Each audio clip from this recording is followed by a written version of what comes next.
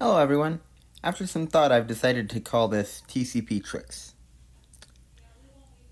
We're starting here in the main section of Affinity Photo. You can see I've cleared out all my projects. Now we're in the new document um, menu. There's all kinds of stuff here. There's focus, selecting, and HDR, which is what I'm going to be talking about today. This interface is actually very easy to use. You can just tap the Add Photos button on the side, or you can pull up your Photos app into slide over mode and select the photos you want and just drag them over.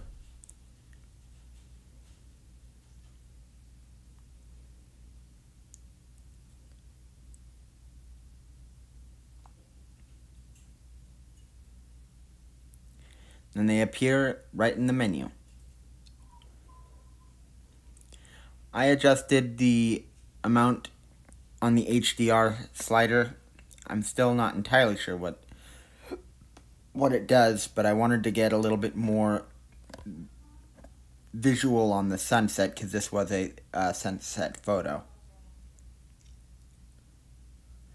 And then I sped some of this stuff up so that you guys didn't have to wait as long and to keep things at a steady pace. We're in. Now, HDR photos actually have their own set of tools and set of menus that you can use.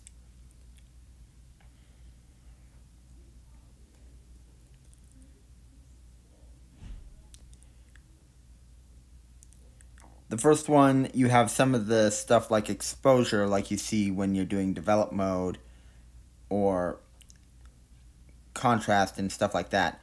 But you also have two sliders at the top that are specific to high dynamic range. One of them increases the brightness of the HDR, or rather decreases it. It starts at maximum. And the other one increases the effect. It's almost as if it's increasing the HDR effect, yeah.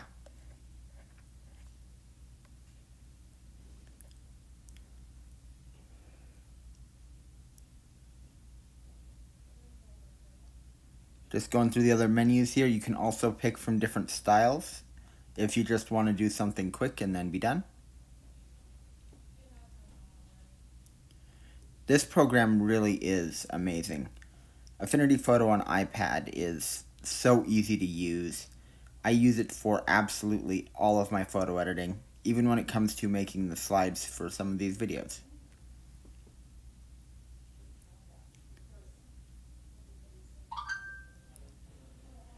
And now it's processing and we're into the regular edit mode. Although you have an extra slider here. You can still, even after that, just adjust the exposure and the and the gamma. But I didn't mess around too much with that. I mess around with it a little bit later. But the first thing I did is, I don't like, er, the first thing I did is I cropped out part of the picture because you can see that the horizon line isn't quite straight.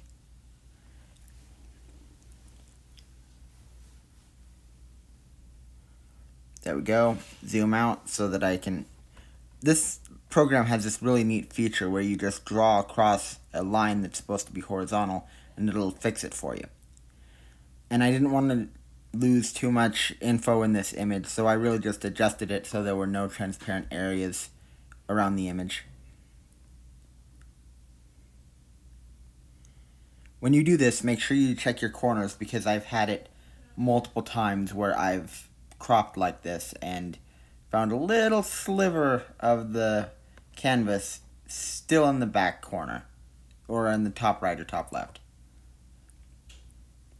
can be a real pain in the rear end sometimes. Alright.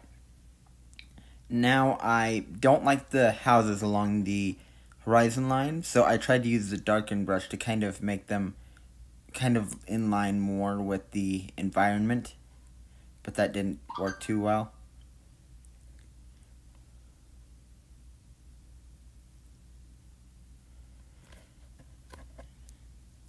There are quite a lot of options that you can choose from just within that small tool menu. It, this program really is incredible. I promise I'm not advertising for Affinity Photo.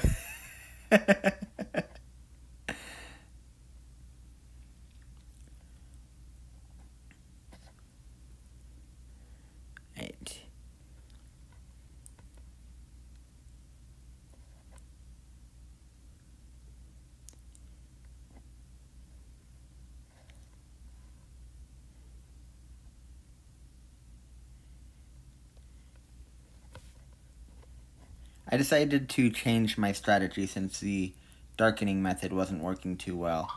I switched to the inpainting brush. The inpainting brush is pretty neat.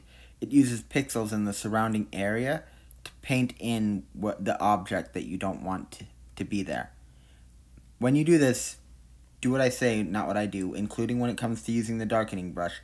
Make a pixel layer and name it. Name it whatever you want. I named mine overlay do what I say, not as I do. you can see I'm just going over here, and this doesn't always work. Some large pictures don't always, um, or sorry, large objects don't always mesh well. You can try multiple times, but it tends to degrade the image, so I left that big building on the right side there, uh, there. Next thing I did is I was a little bit concerned because as I was zoomed in, I thought I saw a little bit of noise on the horizon line. So I activated the really useful noise um, reduction filter. I used a, a live filter so that I could edit or delete it if need be.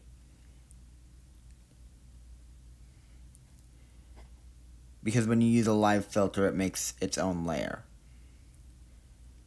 Now you can see me fiddling with the controls here, but it doesn't really seem to help very much. It, this is part of photo editing. There is a lot of trial and error when it comes to this stuff. You never know exactly how the photo is going to turn out until it's done.